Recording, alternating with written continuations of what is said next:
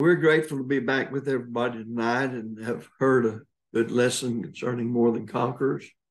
Appreciate Brett's efforts on that. And we want to continue with our study of the life of Abraham and many of the things that pertain to him and why inspiration chose him to be in the scriptures in the first place. Maybe various reasons it chose him. Uh, we notice that in we in introducing him that we pointed out that in Genesis that when you uh, study his life, you see that it um, unfolds itself naturally in five uh, movements, if you would call it that. And last week at the end of the class, I was looking at the third one, the we'll say periods, the movement, the third period that covers uh, Genesis uh, 15 and 16 we were in the process of, of looking at that. And there's one thing I want to go back over because in going back through the lesson, I noticed that uh, when I was referring you to Hebrews 7 about Melchizedek, I then referred you, and I meant to say Galatians, and I said Genesis. And uh, Paul, by inspiration, used Abraham two different times in Genesis 3. I did it again, Galatians 3 and 4 so you might want to take note of that. Both that whole book, of course, deals so much with refuting the Judaizing teachers in the church, and both of those actually set forth um, uh, points that have to be understood, need to be understood as to realizing that Christ has all authority, and we approach God only through Him, and that Moses uh, is not at all involved as far as establishing the authority that uh, makes people Christians and keeps us faithful in the church. So I just wanted to mention that. We were involved in the third period, as I said, and um, God was, I'll, I'll back up and go back over some of it, but God was explaining to Abraham that his descendants uh, would be enslaved or in bondage in a strange land. they would come out of that land in the fourth generation. And at that time, they would return to Canaan.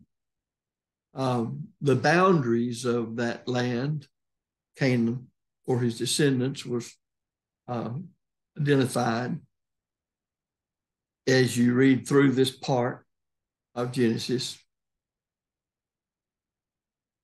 It basically identifies just simply the land or the boundaries by the inhabitants of the land at the time that Abraham was there.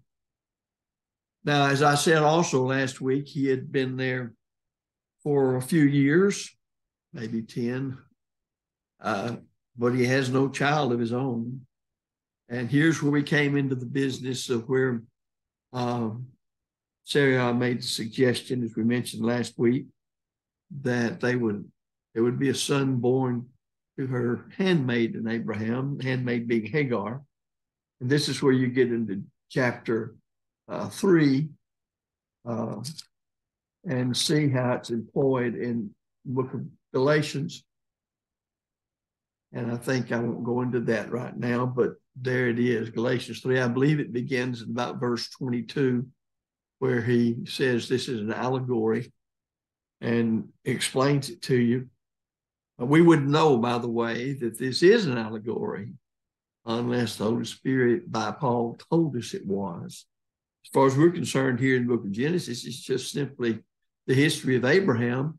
And of course, remember, this is the beginning of the unfolding, the scheme of redemption down through the stream of time and the people that were involved and what they were doing.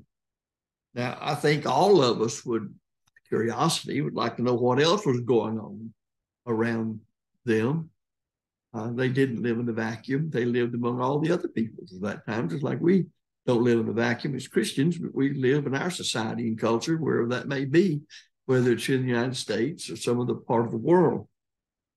But the Lord's not interested in that. And that's one of the peculiarities of the Bible that makes it special. It is God's word, but it unfolds the scheme of redemption to the salvation of man through Christ to the glory of God the Father. You want to think of a one line uh, summation of the Bible, there it is. And in doing so, he shows you that it was done in history. It's not some fantastic thing. It actually happened among ordinary human beings as far as them being like every other human. And uh, we find out then, as we discussed a little bit last week, that that uh, this was a mistake on their part. But I emphasized last week, and I want to emphasize it again. When you sit down and think about the limited amount, uh, limited amount of revelation that Abraham and Sarah had concerning just exactly how, that is, the particulars of how God's going to save man, how even He's going to make of Abraham a great nation. That's uh, that is not clear to him as it's clear to us. So let me drive a peg down here again. As you study the Word of God, you have to try to realize how much does He know about this. It's like when you read about David extolling the law of God, commandments, how wonderful all that is. Well, just how much of the Bible did David have? He probably, well, we know he had what we call the Pentateuch, five-fold volume, Genesis, Exodus, Leviticus, Numbers, Deuteronomy. Probably he had, uh, no doubt he had Joshua and Judges. Maybe Second Samuel. That's David's Bible. So when he talks about that, he's basically talking about the parts of the Pentateuch that talk about the law of Moses because that's what he was under as a Jew. So we don't need to think that David had the insights that we do regarding all the rest of the Old Testament and how marvelous the perfect law of liberty is. He didn't. He never had any of those things. You could talk to Abraham and the patriarchal age and David or anybody else at that time who uh, was under the uh, Mosaic system. And you could talk about the Lord's Supper all you wanted to, and they wouldn't know what in the world you're talking about. You could talk about baptism for the remission of sins. They don't know anything about that.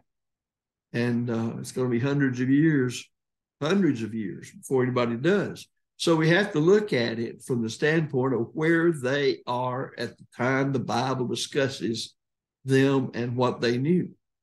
And Abraham was really very limited in what he knew. So before we criticize Sarai too fast about saying, well, here I am as old as I am, you're old as you are, and uh, how's this going to happen? Maybe we can help it out. Anyway, she suggested that, and Abraham did it. He listened to her. And thus you have Ishmael born. Uh, no, nothing's in the Bible that says that Abraham didn't love him. In fact, it's to the contrary. He loved him very much. And he thought that God would surely uh, work out the covenant through Ishmael but he didn't. And this leads us then to the fourth period in Abraham's life, Genesis chapter 17 through 21. Genesis chapter 17 through 21. And again, as we said, uh, in each one of these periods, God appears to Abraham. And notice he's 99 years old. And he said, you're going to sire son. so you can see why they might be wondering do we need to step in here and help matters out? I might back up and say this about uh, Sarai recommending her handmaid. You know that Jesus in Matthew 19 at that time restored marriage and the home as it was in the beginning. Well, then what's going on here? It's obvious that God's allowing and permitting things and did for hundreds of years thereafter, uh, such as the multiplicity of lives, uh, lives, I get it in a minute, wives, and um, also handmaidens at this time. And so this was nothing that they thought any different of. It wasn't something that shocked them. So this is the way it worked. But now on into what we have in 17 through 21. So he's 99 years old. And Abram was 86 years old when Ishmael was born. So 13 years have gone by. That's how much older Ishmael is, and, and a little older than that, than Isaac. But what mainly comes out of this is, is that God explained very clearly to Abram that the covenant would not be worked out through Ishmael, but it would be through a child of Abram and Sarai. So God promised that he would bless Ishmael. We won't pursue that, except that he is the father of the Arabs. The promise will be fulfilled through Isaac. I want to make a, a point here that gets overlooked sometimes. I think we all know it, but I want to emphasize it. Here, because people would not wait on God, as good as they were for people serving God in the patriarchal age, they wouldn't wait on Him. They were thinking, just like a lot of humans would think, how, how old they are, how we're we going to have a child, and so on. And what happens is that we see God well, let's let me put it around the other way. We see Abraham showing really uh, somewhat of a weaker faith here than what we normally think of Abraham. And again, and he should have learned this from Adam and Eve. He listened to his wife. She thought it up and she told him. So God promised that he would bless Ishmael. He became a great nation. And lo and behold, if you read Galatians chapter 3, you'll see that uh, the one that was born of the bondmaid became the one who persecuted the free woman. Now, I know that we're under the Christian dispensation. Christ has all authority. The New Testament is where that authority is presented, and we all become Christians. And spiritual Israel exists today. That the Jews who inhabit Israel or wherever they are today, the modern state of Israel, they're no special people, as a great many people think they are. Still, God's chosen. They are not. But ethnically, the Arabs descending from Ishmael, half brother in the flesh to Isaac, are still at war with the descendants. What's the point? Just one birth has plunged the world into all kinds of problems to this present hour. Why is the situation like it is in the Middle East. You're reading the origin of it right here. Somebody said that uh, here's what happens when the Ladies' Aid Society gets mixed up in it, won't wait on God. Well, that's not saying women don't have good sense, not saying women don't have good advice, not saying, saying that women don't have good counsel.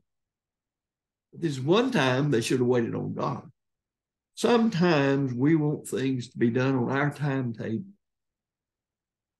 And we try to look at things as we do anything else. But God's involved in our life. We're his children. The Bible's full of material that says God will take care of you. God will provide on the basis of your seeking first the kingdom of God and God's righteousness. He'll take care of it. But sometimes we try to take care of things, suit ourselves. It might remind you that it doesn't take but one birth to plunge the world into thousands of years of trouble. Just one birth. It only one, it only took a couple of bites out of a fruit that was forbidden by God to plunge the whole world until the day the Lord comes back into this mess it's in today. Why are these things written in the Bible? Well, there's a lesson. Oh, written aforetime for our learning, Paul says, Romans 15 4. Question is, do we learn? A great many people who are members of the church who might criticize Sarah and Abraham for what they did through Hagar and then Ishmael being born. do the same things with their lives. Well, I just don't know how to do this. I just don't have the wherewithal to do it. Now to think of Moses, who said, I, I can't speak. I can't this, and I can't that. Moses just needed to say, Well, God has called me to do it. He wouldn't call have called me to do it if I couldn't do it. And we ought to have the attitude of, Well, I never have, but I can. I don't know that a lot of us think about that where we are. Doesn't mean everybody's going to be of the same ability and accomplishment, but it does mean we must learn to wait on God. If God promised something, it for me. And if God said that He would provide for us, if we put Him first, He will. Some of us think we're acting by faith when we're really acting by looking at our own bank account. We can see what's in it. We just don't know how in the world anything else is going to work out. Well, if you're serving God faithfully, remember we're more than conquerors. If you're serving God faithfully, He can make it all work out. I don't have to know any more than Abraham Sarah. I know. So there's so many lessons. This is just one I'm spending a lot of time on because it has a bearing on our everyday service to God in the church and just what it is to be faithful to the Lord through the teaching of the New Testament and doing what He's called us to do. That's why that you have be ready unto every good work. Of course, the work is set out and authorized by God. We're to be ready unto everything, opportunities. So this is one thing that comes out, but it must be according to the will of heaven. And if God's promised it to us, He can bring it about. And if God's promised, if we seek first the kingdom of God and his righteousness, all these things shall be added unto us. They will be. Yeah, but I don't. Well, that's lack of faith when you say that. You're looking for, uh, you might say that's that, that's looking for Hagar to help out with the promise God made to Abraham that through thy seed shall all nations of the earth be blessed, I'll make of thee a great nation. Well, let's pursue this further. Maybe we didn't beat that over the head too much, but it's a great lesson and it's there in the patriarchal age and it's explored over and over again and applied in different ways throughout the rest of the Bible, especially for us in the church. So God again promised that I will give uh, unto thee and to thy seed, singular, after thee, the land wherein thou art a stranger, all the land of Canaan, for an everlasting possession, and I will be their God. Genesis 17, verse 8. Uh, I would say this about everlasting. Many people, and sometimes it does mean eternal, but many times everlasting means in the duration that I want it to be, such as the law of Moses being an everlasting covenant. Well, everlasting covenant, as long as God wanted to be binding, doesn't mean eternal. And here it doesn't mean that this is uh, means that the children of Israel would always possess the land of Canaan. We know when we get further over into the Old Testament and under the time the Jews were there, how much they displeased God in their continual sins, and God took it away from them. And so we have to understand some of those things about the use of certain terms. So God now changes the name of Abram to Abraham. For a father of many nations have I made thee. And he changes uh, the name of Sarai to Sarah. Well, as we move on with the narration, we see that certain messengers, we might call them divine messengers, come to visit Abraham and the text simply brings out when he saw them coming, he thought they were just human beings coming. And again, they explain that Sarah would have a son. This is when you'll remember she's eavesdropping behind the tent flap and she laughs and then tries to deny it when she's caught. But these messengers from God are going to destroy the city of cities of Sodom and Gomorrah and the others like them of the plains. And he did so. Now, the word angel comes in here, and angel strictly, angelos in the Greek, strictly means a spirit being who's a messenger. It can be used to mean just a messenger. Anybody that's carrying a message could be called an angel. With the various views people have of angels nowadays, need to mention that because in general, anybody with a message to carry to somebody else's is an angelos. In this case, they're called angels because they are messengers, the divine messengers. And we won't go back through all of the bargaining that Abraham did with God, who, by the way, uh, there were four of those messengers, and three of them going toward, um, I believe I got my numbers right, and three of them going toward uh, Sodom. Uh, but we find one remaining, and he's addressed as Lord.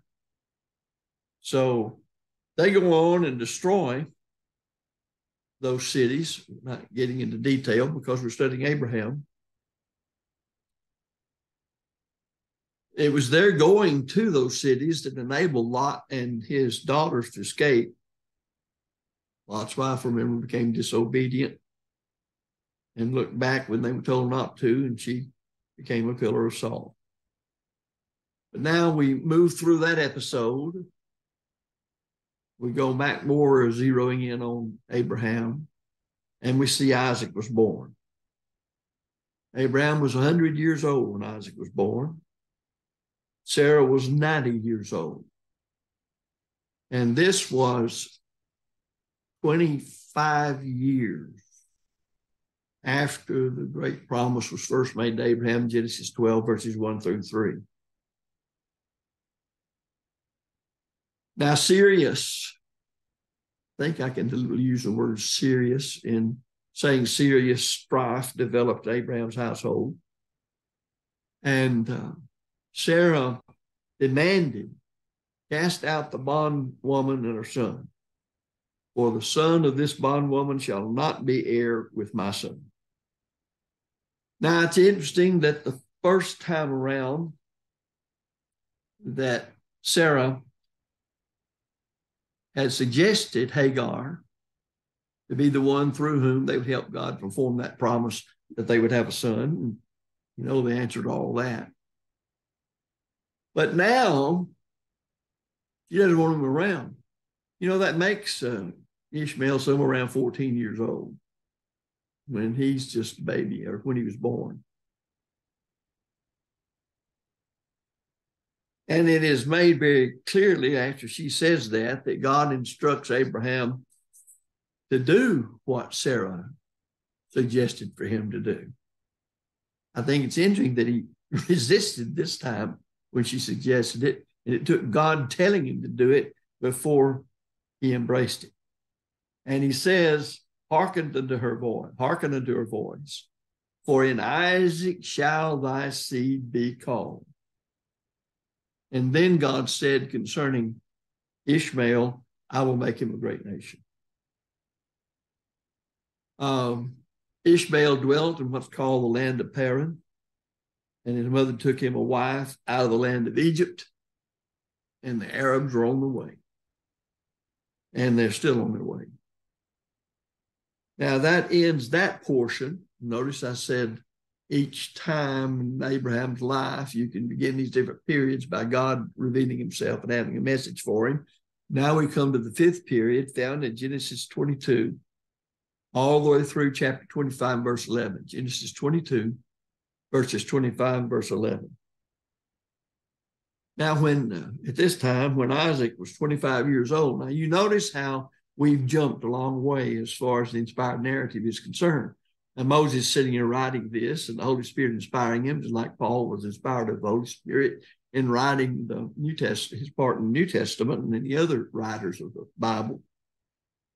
You're not interested in just giving a day to day detail of what they did. He's interested in hitting the points that are important to the unfolding of the scheme of redemption. this again reminds us that the Bible is not put here strictly to be a history. It is through history revealing God's scheme of redemption. So it hits on those things in that way. Our curiosity does me anyway.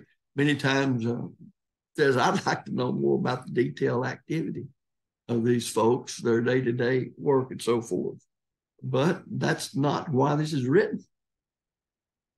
He says, Take now thy son, speaking to Abraham, thine only son Isaac, whom thou lovest, and get thee into the land of Moriah, and offer him there for a burnt offering upon one of the mountains, which I will tell thee of. Genesis 22 2.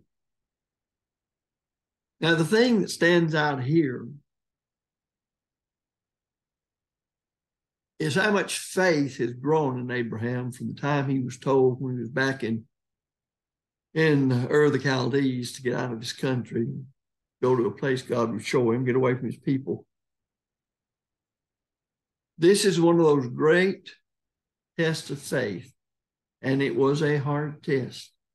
I don't think anybody can say it was not a, a hard test. It was a very difficult thing as far as his confidence in God, his trust in God, his belief in God, his trust in God's word, and so on. But when you read the text, there's simply no doubting on the part of Abraham. When he's told to do this, he just simply gets up early the next morning. Had been one morning be easy to sleep late. He got up early the next morning, made off toward the mountain, mountains, mountains of Moriah. Um, he had had various tests. The first one telling him to leave his kindred was was a pretty good test. Just to get out and go. Well, where am I going? I'll tell you later. You just get up and go. Leave all your people. So he's growing. I, I wish we would realize that when we're old enough to understand the truth and know we've sinned and need a Savior, and Christ is our Savior, and we know the terms of pardon, and we know that we need to be baptized having believed in Christ for the remission of sins. That uh, if we grow like we ought to through study and prayer and application of the truth to our lives, once we've risen from the watery grave of baptism and a, a new creature in Christ, I wish we'd realize that we're going to grow and know and have deeper insights. I've seen a whole host of people all my preaching days who look back on what they knew at the time that they were baptized and realize they know so much more about a lot that pertains to godly living in the church. And they begin to doubt that they knew enough when they were baptized. Well, I'm certainly not saying that you don't need to know certain things before you're qualified to be scripturally baptized. But I am saying that you can't expect to grow if you stay faithful. You have to in knowledge and practice of what it is to be a Christian. And again, you have to give yourself time. Of course, that time must be properly used. But think of Abraham, and there it is. It was properly used. He made some mistakes, but nevertheless, he he always was going the right direction. Just mark that down. He was always going the right direction. So Abraham builds an altar and he lays wood on it. And he bound Isaac and laid him on the wood. Now, I want you to think about this for a minute. How old is Isaac right now?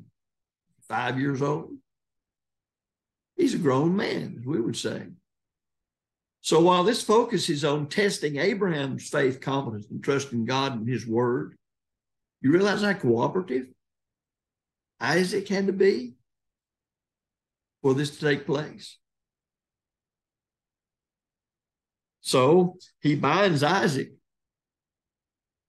And you remember Isaac even asked, Where, where's the sacrifice? And what's Abraham's response? God will provide. Now that sounds like me, Abraham's grown considerably in his own faith, but it still teaches us what I spent some time on a few minutes ago. God will take care of his part. Our concern ought to be taking care of our own part and quit second guessing him. So he lays the wood on him, stretches out his hand. He has the knife in his hand to slay his son. And he was in the very act of doing so. But what happened? Well, I don't think we can describe the great joy that must have come on Abraham and, you know, upon Isaac too. When they heard that voice of God calling from out of heaven, saying, Lay not thine hand upon the land, neither do anything unto him. For now I know thou fearest God, seeing thou hast not withheld thy son, thine only son from me. Of course, God did provide a burnt offering. And Abraham calls this place Jehovah Jireh. You know what it means? What we've been emphasizing. The Lord has provided. Why was it right for Abraham to offer his son? There's only one reason. That's what God told him to do. And he is a faithful man. So he sets about to do it. Now it's interesting to note that he says, Now I know. This God's omniscient. He knew. He knew exactly what Abraham was going to do. This is for Abraham's benefit. Sometimes we don't realize just how strong our faith is or how weak our faith is It were put to the test. Remember Peter? Peter thought his faith was a strong faith that was put to the test, and then he found out it wasn't. So we need to realize these are not uh, just picked out as random things to talk about or tell about. And God just wrote it down, but they're there show why these people are selected and what they were and examples for each one of us. And again, here you find God uh, giving the great covenant, and in thy seed shall all the nations of the earth be blessed. And he, he said, Because thou hast obeyed my voice. Well, he never did actually kill his son, but you know that God's word is saying in his heart he had done so. And if God had not stayed his hand, he certainly would in reality have done so. Well, following that great lesson, we have then in the book the record of the death of Sarah. She died in um, Hebron. She was 127 years old. Now, I think it's interesting to note that Abraham continued to have children with his other, other wives. It's been very interesting. Not much said about it, but that's what happened. He buries her in a burial place he obtained for the sons of Heth and he buried her in the cave of Machpelah. Chapters 24 and 25 uh, actually record the closing days of Abraham, and that's where we learn about these other wives and children, or wife and children. And you see that provisions were made, which is another interesting story, to, for the marriage of Isaac. Rebecca, of course, would be his, his wife. And he himself, as I say, married Keturah. And he made sure that his inheritance, all that he had, would go to Isaac. And Abraham dies at 175 years old. And it's interesting that he's buried by Isaac and Ishmael in that same cave, the cave of Machpelah.